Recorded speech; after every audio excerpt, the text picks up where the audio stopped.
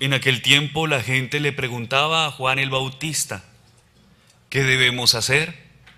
Él contestó, quien tenga dos túnicas, que dé una al que no tiene ninguna, y quien tenga comida, que haga lo mismo. También acudían a él los publicanos para que los bautizara y le preguntaban, Maestro, ¿qué tenemos que hacer nosotros? Él les decía, no cobren más de lo establecido. Unos soldados le preguntaron, ¿y nosotros qué tenemos que hacer? Él les dijo, no extorsionen a nadie ni denuncien a nadie falsamente, sino conténtense con su salario. Como el pueblo estaba en expectación y todos pensaban que quizá Juan era el Mesías, Juan los sacó de dudas diciéndoles, es cierto que yo bautizo con agua, pero ya viene otro más poderoso que yo, a quien no merezco desatarle las correas de sus sandalias. Él los bautizará con el Espíritu Santo y con fuego. Él tiene el bieldo en la mano para separar el trigo de la paja. Guardará el trigo en su granero y quemará la paja en un fuego que no se extingue. Con estas y otras muchas exhortaciones anunciaba la buena nueva. Palabra del Señor. Gloria a ti, Señor Jesús.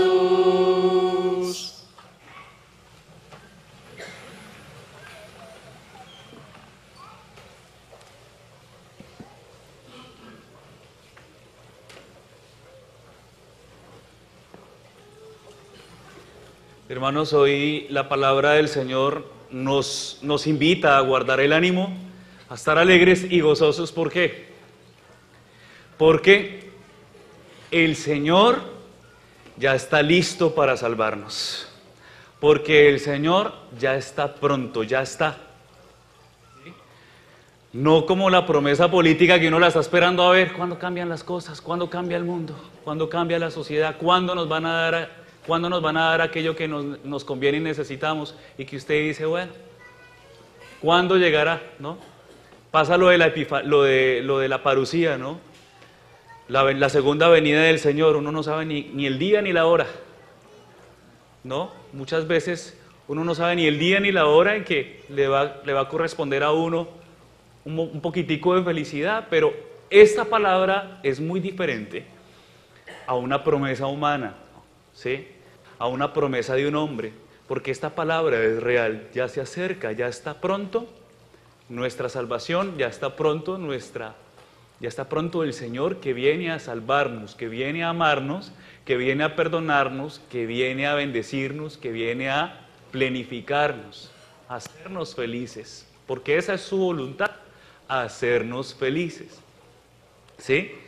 Y cuando usted sabe que se acerca esa salvación que viene a planificarlo, a realizarlo, a hacerlo feliz, pues usted se alegra, ¿o no?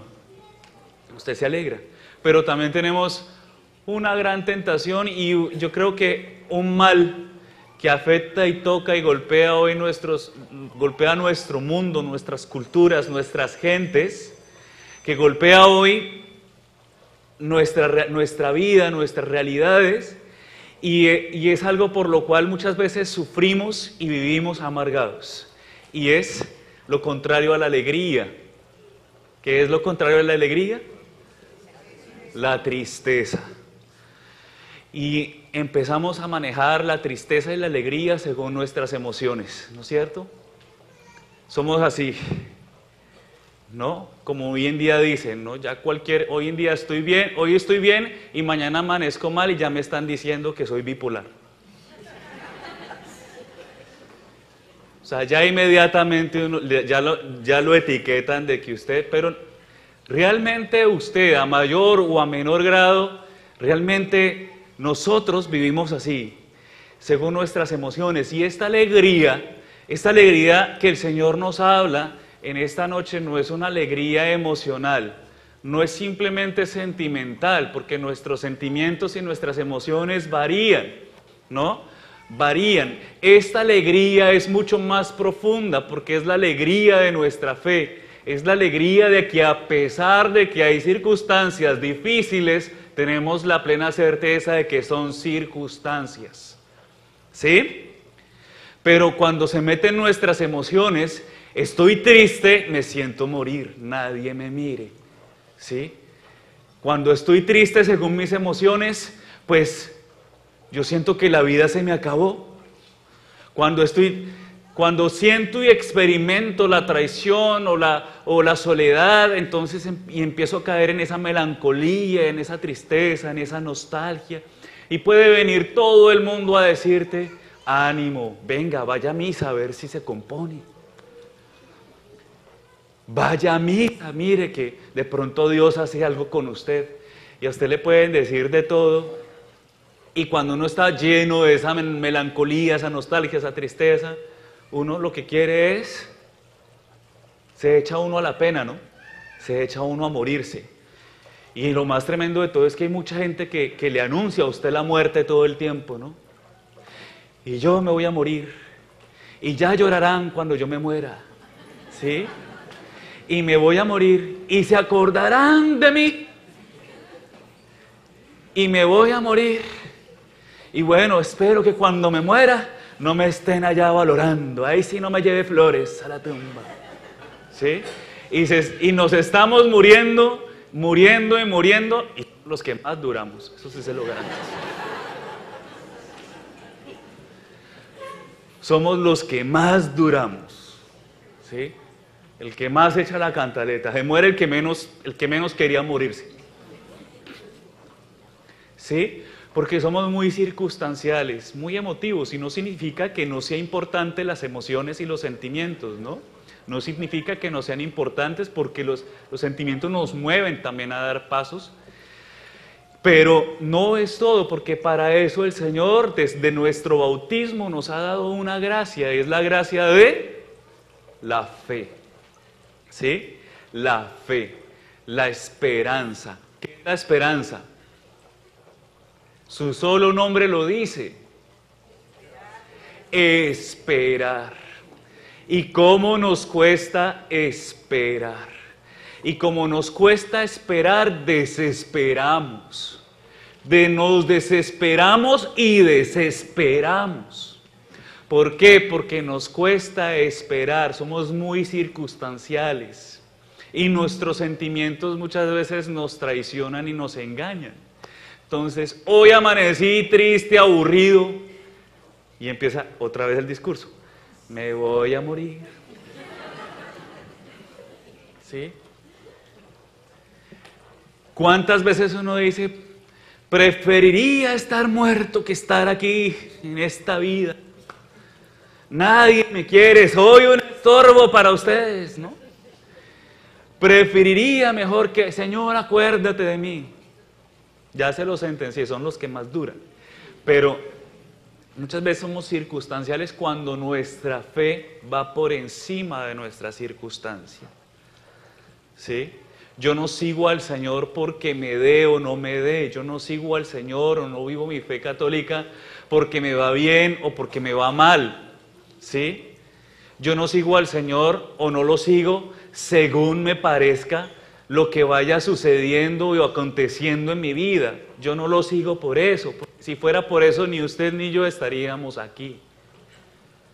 Si fuera por esas circunstancias, ni usted ni yo estaríamos aquí haciendo este esfuerzo de venir a darle este espaciecito al Señor para dejar que Él nos ayude y llene nuestras Estamos aquí porque estamos en esa esperanza, en ese anhelo de ser felices, pero ser felices no como se los he dicho muchas veces, con la alegría del payaso, como el que sonríe, el que le sonríe a todo el mundo, pero por dentro, allá en su habitación, allá en su casa, es una amargura total, ¿sí? No es la alegría del payaso que le sonríe a todo el mundo para hacerlos reír, porque hay mucha gente que le fascina hacer reír a los otros. Hay mucha gente que le fascina echar su cuentico y hacer reír a los otros, mientras que internamente él no es feliz. no es una alegría auténtica porque el Señor no quiere simplemente de que tú alegres a los otros, sino que tú también vivas feliz, que tú también, también estés en paz, que tú también estés lleno de Dios, que tú también estés lleno de la plenitud del Señor. No basta simplemente con hacer reír con alegría del payaso, que no es auténtica sino maquillada, fingida. Es un trabajo un trabajo por el que le pagan, mientras que esta alegría ni siquiera la hace uno porque le pagan, sino que brota del corazón, es espontánea, es libre. Aún esa alegría en medio de la dificultad y de la prueba. Hay unos dichos, los dichos de la abuela, que me encantan tanto. ¿Sí? Y esos dichos de la abuela, ¿no? Que muchas veces le decían cuando uno le, llegaban de la abuela y me está yendo mal y no me salen las cosas como yo quiero en mi trabajo está muy mal, en mi casa estamos peleando, ¿yo qué voy a hacer? Pues mi hijito, a mal tiempo, buena cara. Tiene dos opciones, o quedarse pataleando como el niño berrinchoso, o simplemente pues levántese mi hijo y hágale, camine, camine porque para eso es la fe, es la fe. No de tener simplemente en la mente de que nada nos va a pasar y nada nos va a suceder, sino que tenemos a un Dios que camina con nosotros y eso nos hace alegres. Yo me siento orgulloso de mi fe, no por mí mismo, porque muchas veces uno falla, muchas veces uno es humano, muchas veces uno, uno decepciona a la gente, muchas veces uno sale la humanidad precisamente por los sentimientos tan humanos, ¿no? por ser tan humanos, pero me siento feliz de mi fe. ¿Por qué? Porque esa fe me lleva a levantarme después de cada caída, porque esa fe me da la certeza de que Dios me perdona siempre. Yo les pregunto a ustedes, ¿sí? ¿Ustedes alguna vez han estado endeudados?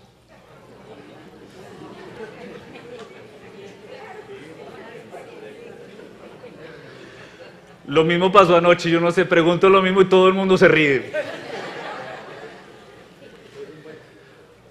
Es un buen chiste, ¿no? ¿Ustedes han estado en deuda? ¿Sí? ¿Sí o no? En mi país le llamamos culebras. ¿Sí? ¿Cómo matar esas culebras? Están muy duras, sobrepasan nuestra capacidad, a veces no sabemos ni tenemos ni idea cómo le vamos a hacer. ¿Sí? Y eso a veces nos desanima, ¿no? Pero ustedes, ahora que ya con esas risas me aclararon la pregunta, ¿sí? Cuando uno está en deuda y cuando uno le perdonan esa si a usted le perdonaran su deuda, ¿usted cómo se sentiría? Más de uno diría, Padre Dios lo escuche. Tranquilos que tal vez no salen hoy, pero van a salir en el nombre del Señor, pero bueno. Eso, eso. Ahora sí se pusieron alegres porque tienen unas caras. Entonces, claro, uno se siente feliz, uno se siente gozoso, ¿no? Nosotros tenemos una deuda, no solamente no material, de esta deuda que yo les voy a hablar no es la material, no es la del dinero. Nosotros muchas veces estamos endeudados con con el Señor. Y cada vez que cometemos un pecado, cada vez que fallamos, que nuestra humanidad no sale, nos ponemos en deuda con Él. No porque Él nos esté cobrando, no porque nos esté diciendo, mire lo que hizo, ¿no? Pero nosotros sabemos internamente, y la conciencia nos lo dice, que cada vez que fallamos, cada vez que cometemos una falta, quedamos en deuda. Quedamos en deuda con el Señor, pero ¿saben cuál es nuestra alegría? La alegría de nuestra fe, la alegría de tener a un Dios misericordioso, es que siempre nos perdona. La alegría que nos da a cada uno de nosotros, bautizados católicos, creyentes en el Señor, la alegría que nos da es saber que Dios siempre nos da oportunidades, que siempre Dios nos permite recomenzar. Qué hermosa palabra, recomenzar. Qué hermosa palabra, sobre todo cuando uno se siente en deuda, ahorcado y condenado. Y es la misericordia de Dios. Y ese pecado siempre es perdonado en dónde? ¿Dónde nos perdonan? En el confesionario. Y en este año el Señor nos ha regalado por medio del Papa Francisco un año magnífico, maravilloso, que es el año de qué? De la misericordia. Si no lo sabías, sépalo. Es el año de la misericordia y este año nos van a dar promociones espirituales. ¿Saben cuál es una de ellas? La indulgencia plenaria. ¿Qué es indulgencia? ¿Qué es ese nombre tan raro? La indulgencia es justamente el perdón de nuestras penas. Les explico. Nuestros pecados, cada vez que usted peca, cada vez que yo peco, usted peca, generamos, ocasionamos consecuencias. El pecado se perdona en el confesionario.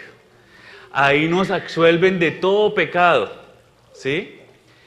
Pero las penas quedan, ese pecado generó una pena, ¿sí?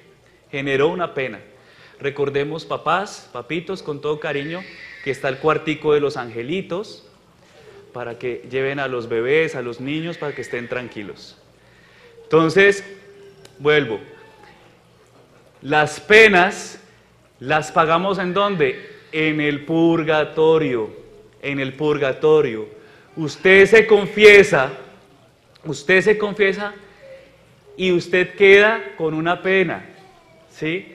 Que las purifica con los sufrimientos de la vida o en el purgatorio. ¿Saben qué hace la indulgencia? Lo deja cero kilómetros. Lo deja cero kilómetros. Por eso es una gran promoción. Dígame si no. Y nos da felicidad, nos alegra. Nos alegra. Por eso, este día es una alegría que no es simplemente la, la, que sonríe externamente, sino la que sabe que le va a dar qué? La vida eterna. Que le va a dar a quién? A Dios mismo. A Dios mismo. ¿Sí o no? Pero como que no los alegró. Entonces, cada vez que usted falla, está en deuda. Queda en deuda este año de la misericordia por medio de la indulgencia. Se nos es perdonado todo, todo, todo. O sea que si usted se muere, derechito. Para los que quieren morirse. Ya después les explicaremos cómo ganarla porque hay todo un ejercicio para ganarla. ¿Sí? Pero es este año, es este año. Entonces, qué maravilloso es escuchar siempre un Dios que nos perdona, un Dios que nos permite recomenzar, un Dios que nos permite, ¿sí? Que nos permite siempre su misericordia, que nos da nuevas oportunidades, un Dios que nos da siempre su gracia un Dios que nos llena de su presencia, un Dios que nos levanta constantemente. ¿Sí? Qué maravilloso es escuchar eso. Dígame, ¿quién nos da eso? Solo Dios. Miren, cuando usted falla, y dígame si no, cuando usted falla muchas veces, todo el mundo lo señala.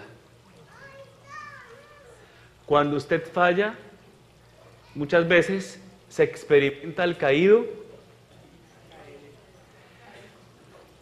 Muchas veces usted en su casa, miren, se lo aseguro, muchos en nuestras casas, nadie da un peso por nosotros. Nadie apuesta por nosotros.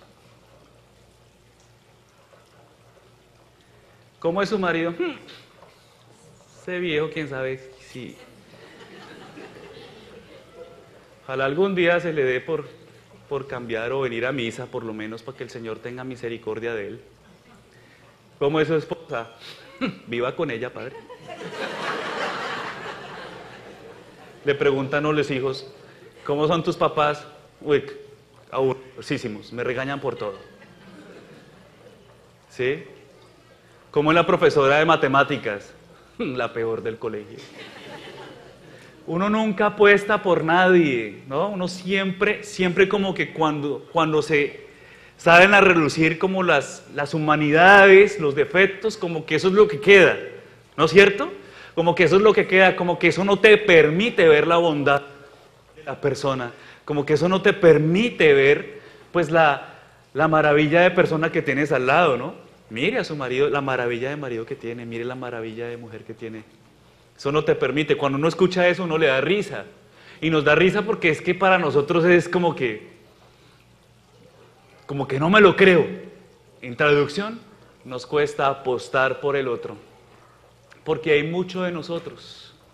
Pero ¿saben qué es lo más impresionante de esta buena noticia? Es que el Señor nos conoce, conociendo nuestras complicaciones y conociendo lo difíciles que somos, sigue apostando por nosotros. Él se apuesta por nosotros. Ah, es una misericordia increíble, impresionante. El Señor apuesta por ti. El Señor apuesta por ti.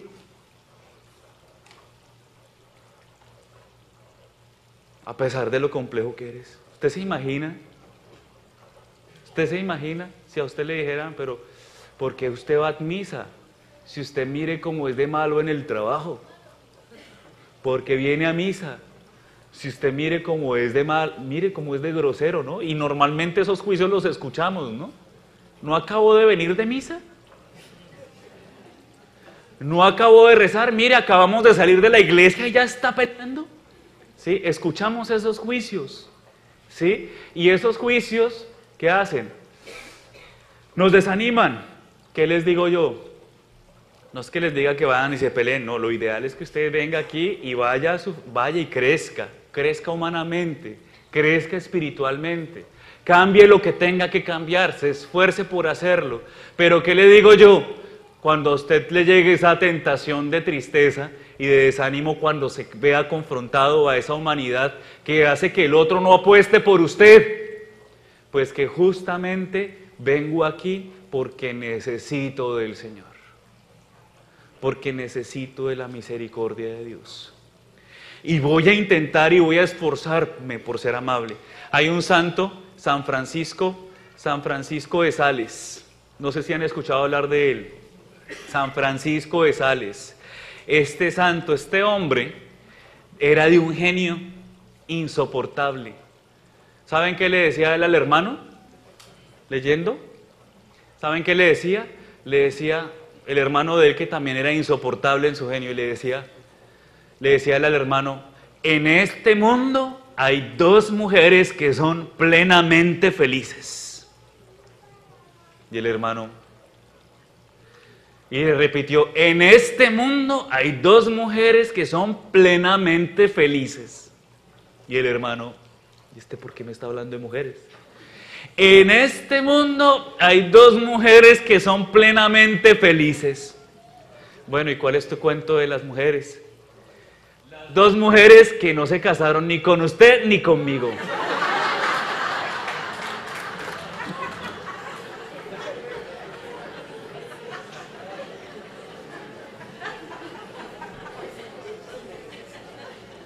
Yo les digo esta noche, en este mundo hay una mujer que es feliz, la que no se casó conmigo.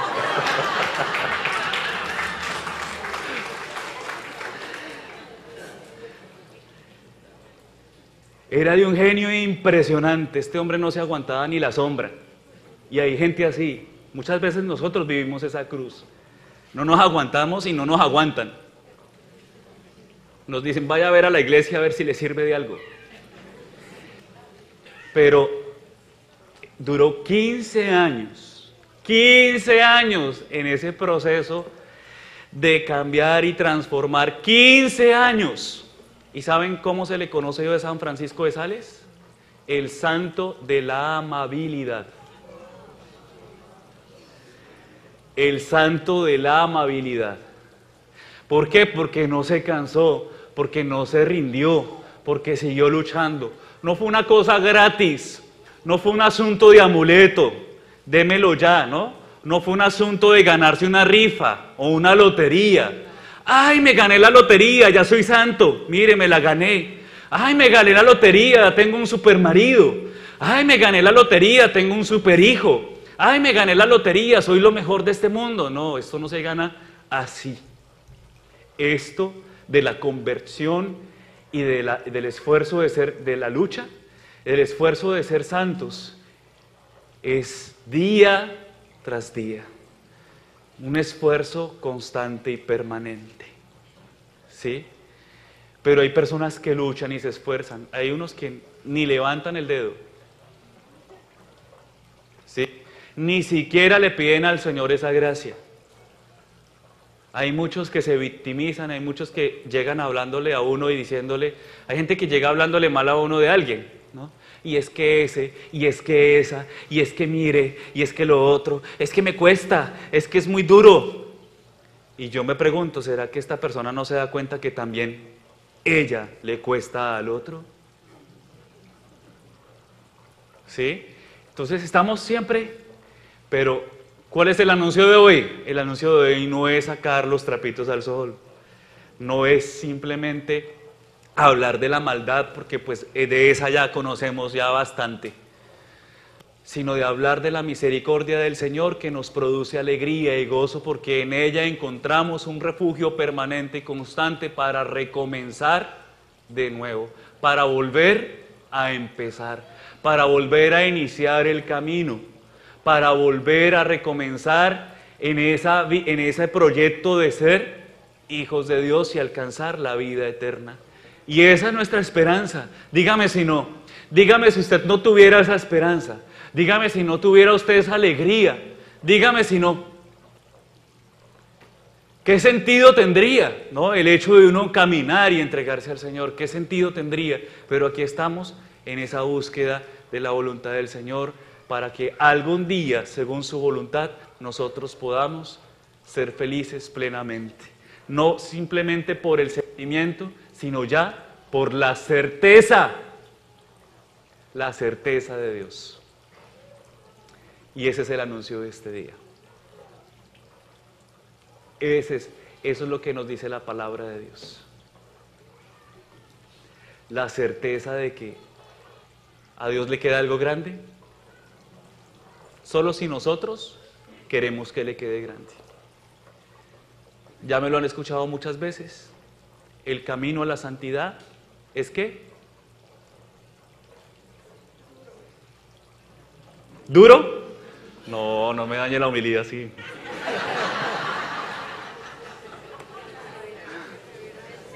Duro para nosotros, sí. El camino a la santidad es un rosario de fracasos corregidos. Ya se les había olvidado. El camino a la santidad es un rosario de fracasos corregidos. No se les va a olvidar. Es un rosario de fracasos corregidos. De fracasos corregidos. Wow, ¿no es cierto? Esa es la, la definición que más me encanta de la santidad. Porque a mí me da una esperanza impresionante.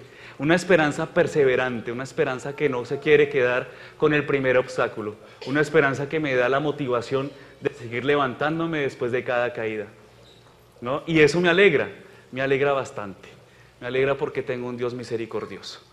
Entonces, queridos hermanos, pidámosle esa gracia hoy al Señor, pidámosle a la Santísima Virgen María, Nuestra Señora de Guadalupe, ella, que pudo acoger al Señor no con tristeza ni con ni, ni con nostalgia, pues, porque entonces ya pues, me van a pedrear, José no me va a aceptar, sino que lo supo acoger con fe, con la certeza de saber de que lo hacía, porque el Señor nunca juega con ella, ni nunca va a jugar con nosotros, sino que lo hacía con esa certeza de que era para cumplir los propósitos de Dios. Se me olvidaba decirles una cosa, ¿no? En esos propósitos de Dios, ¿sí? Dejemos que Dios intentemos y luchemos y esforcémonos porque sea Dios el que tome siempre la iniciativa de las cosas, ¿no? Menos de mí y más de ti, Señor. Menos de mí. Cuando usted esté ahí discutiendo con su mujer, esposos, cuando esté discutiendo con su mujer, diga, ahí hágase violencia, muérdase la lengua y diga, menos de mí, más de ti, Señor. Cuando usted esté discutiendo mujeres con su marido, muerdas esa lengua. Menos de mí, más de ti, Señor. Y cuando le pase lo que le pase, que sienta que se quiera salir de la ropa, menos de mí, más de ti, Señor. Y si le salió más de usted, pues al otro día vuelva y diga, bueno, Señor, otra vez, empecemos de nuevo. Menos de mí, más de ti, Señor. Dígame si eso no nos alegra. Bueno, antes de que den el aplauso, es el Señor, la Santísima Virgen María.